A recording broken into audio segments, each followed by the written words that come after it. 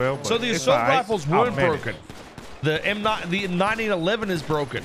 And all you fucking shitlord criminals that complain about cops being overpowered and shit, but happily use this without saying a word.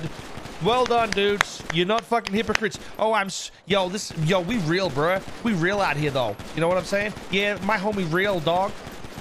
Real, yo, so, so real, yo. Fucking eat my asshole. You fucking pussies.